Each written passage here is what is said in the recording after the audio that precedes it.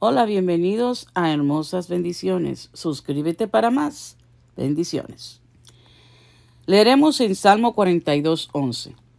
En el nombre del Padre, del Hijo, del Espíritu Santo. Amén. ¿Por qué te abates, oh alma mía? ¿Y por qué te turbas dentro de mí? Espera en Dios, porque aún he de alabarte, salvación mía y Dios mío.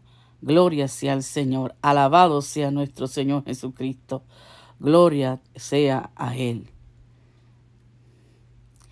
¿Cuál es el significado del Salmo 42, 11?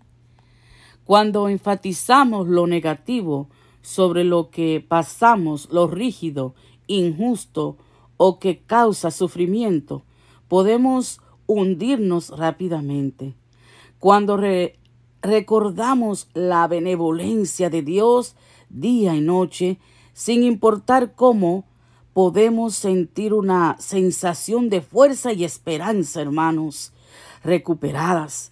De todos modos, decide alabar a Dios en Él siempre se encuentra la esperanza en gloria. Aleluya. Amén, hermanas y hermanos.